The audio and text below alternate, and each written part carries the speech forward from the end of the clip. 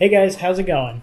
So normally our videos are about our adventures, but sometimes our adventures are about learning something new. So today we're going to learn about the Doppler effect. I'm Will. Welcome to Young Adventures, and let's get smarter today.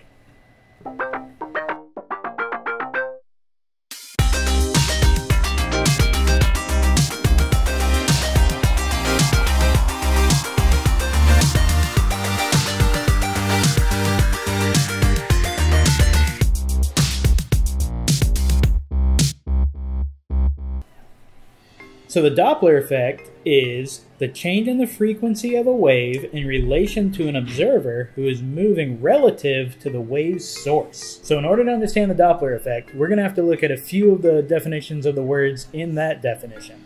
So for example, what is frequency? So frequency is how frequently something happens. So let's say that you're getting hit by a tornado punch. You, you can say that the frequency is how many times in a certain amount of time that you're being hit. So frequency can be a little bit difficult to understand because it's not something we have to think about a lot. When you get hit by a tornado punch, you might be worried about how hard the punch is, or you might be worried about how many times you get uh-huh. hit. But how many times per minute you get hit doesn't really make a difference. But there are some times in life that frequency matters a lot. One example is when you try and dribble a basketball. When you dribble a basketball, it doesn't really matter how hard you hit the basketball, and it doesn't really matter how many times you hit the basketball, but you have to match the frequency of, the, of how you hit it to the frequency of how the ball is bouncing. Another example where frequency really matters is when you're trying to swing on a swing set. When you're swinging on a swing set, it doesn't really matter how hard you swing, but it does matter that you match the frequency of your swinging with the frequency of the swing. The important thing for us to know now is that sound is made up of vibrations. Anytime an object vibrates, it creates sound, and that sound sounds different based on its frequency. So in music, different notes are created by vibrating an object at different frequencies.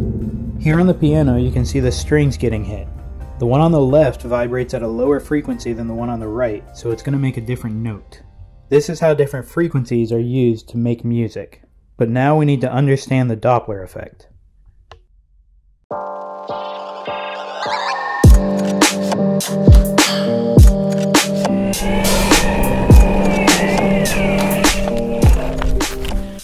Okay, now we need to understand the Doppler effect.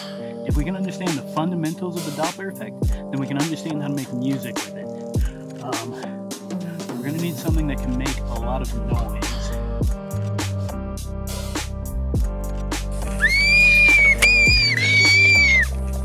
This should help us visualize the Doppler effect. We can see the sound waves leaving the source. These rings show the frequency of the pressure waves moving through the air. We can see that the frequency of the waves leaving the source is the same as the frequency of the waves hitting the observer on the left and the right, so the sound is the same for both observers and matches the actual sound that the source is making. But look what happens when the source of the sound is moving. The waves stack up in the direction they're traveling in, and they spread out behind them. Let's back this up and look at it more closely. We can see the waves are leaving the source at the same frequency, but they're leaving from different places in space. It's like the new waves get a head start on the last wave since it has less distance to go to get to the observer, so it will get there in less time. They're hitting the observer on the left with more frequency and the observer on the right with less frequency. The sound that these observers hear will actually be different. And a similar thing happens when the observer moves towards the source. The observer moves through the waves, so the waves hit them more frequently. This is a Doppler effect.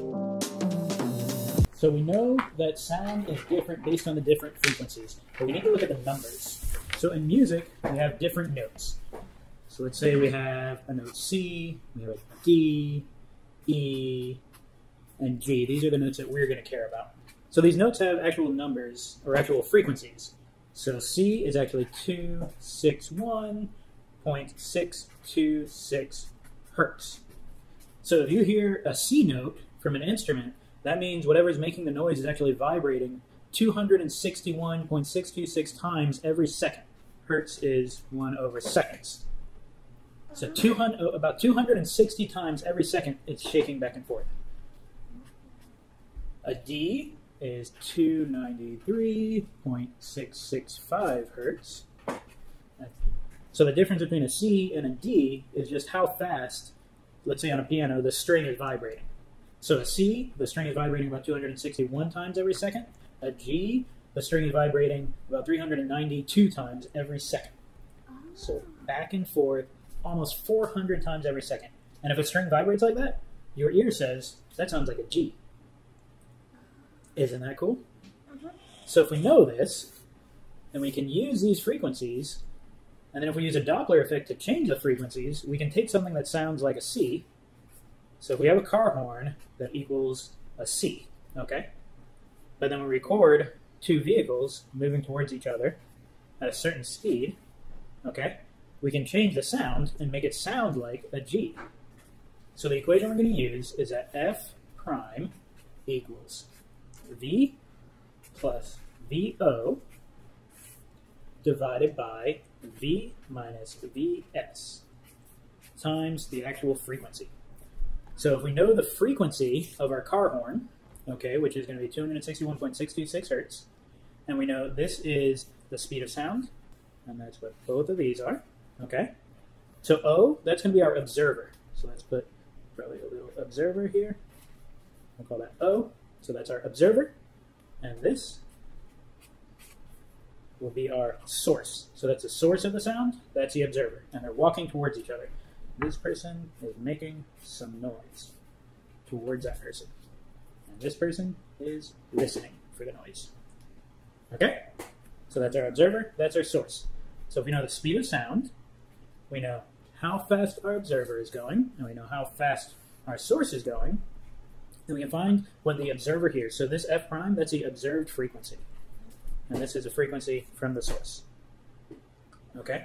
So we can use this equation, we can figure out how fast these people need to go to change our note. So the speed of sound, that's just a number. So v, speed of sound, is just 767.269 miles per hour. It's very fast. So in our first example, what we're going to do is we're going to let the source walk towards the observer, but we're going to let the observer stand still. So the observer is not going to move. Okay, so that means VO is going to be zero. Uh, frequency of the source, we're going to use the note C, and the frequency of the observer, we're going to use a note G. We want to hear a G, okay, and that's going to equal the speed of sound divided by the speed of sound minus the velocity of the source times a C. Okay, do we know the speed of sound? 767.269 Okay. So we know the speed of sound. This is also the speed of sound, so we know that. We know what a G is. A G is 391 hertz, right? Mhm. And we know what a C is. So we know everything in this equation except for the speed of the source. So that's what we're going to figure out. How fast does the source need to go to make a C sound like a G? Okay, so this is what we're trying to find, and we know all of these things. So now we can just plug them in. Okay, so the velocity of the source is going to be equal to the speed of sound, okay, times 1 minus the frequency of a C. What is that? I need a calculator. We'll get the answer. It's 255.177.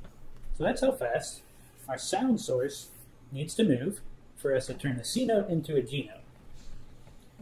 That's kind of a Parker square, isn't it? I mean, we got an answer, and it's kind of cool, but we can't really go that fast, so it's not very useful. But what can we do? So we tried to turn a C into a G. And why we tried to do that is Mary Had a Little Lamb goes E, D, C, D, E, E, E, This is the fancy kind. and then E, D, C, C. So these are the notes that we need to play Mary Had a Little Lamb. So if we have, if we record a C, we got our C, and if we can just have a source move towards our observer, we can bump it up to a D and an E and a G.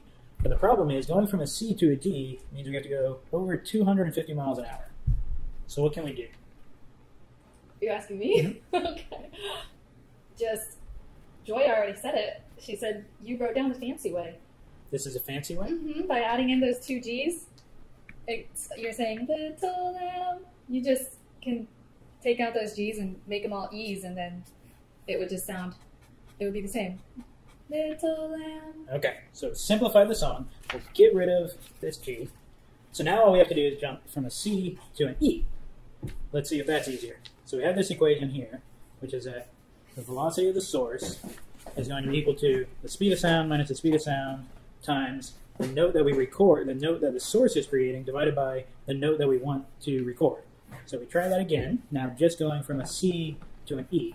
So now, the velocity of the source only has to be 158.287 miles per hour.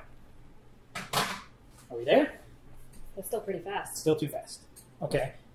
But we know that the Doppler effect has to do with the relative speed, right? So it's not just the speed of the source, but it's the speed of the source relative to the observer. So what if we have the observer walking towards the source and the source walking towards the observer? So we have somebody making noise and we have somebody listening, but they're walking towards each other at the same speed, then the speed will be half. So that means the velocity of the source equals now the velocity of the observer, the negative, okay? And that's going to be equal to half of this. So that is only 79.1435 miles per hour. So that's fast interstate, interstate speeds. That's better. Can we do better? Probably. Can you make the person go faster who's walking towards the sound? So right now they're both going 80 miles an hour towards Oh each other. my goodness. Sounds like a really dangerous way of chicken. Yeah. Right. Yes. Very fast. Okay, one more thing we can do. So if we look here, we're jumping from a C to an E. We need E, D, and C. So we need all of these notes. Okay?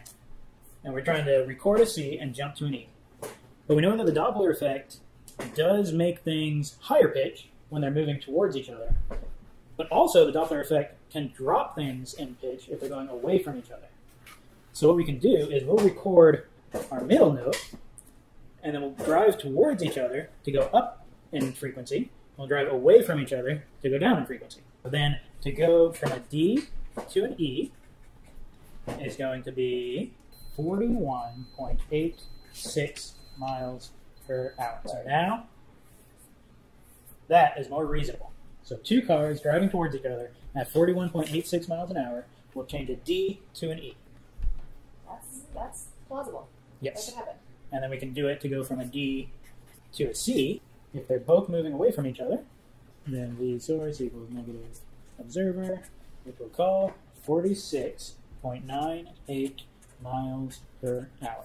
Is that fast? That's not too fast. We can do that on a regular road.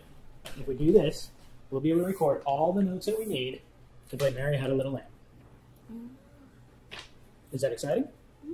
And it's really interesting because the source frequency is always going to be the same. So this person is going to hear the same thing every time. They're going to hear a D every time. It always sounds like a D. But the observer is actually going to hear a different sound than the sound that's being made because of the Doppler effect.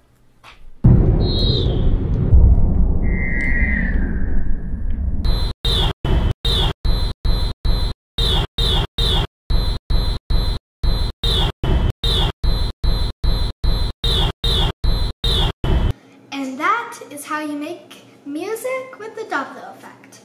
Good luck on your inventions!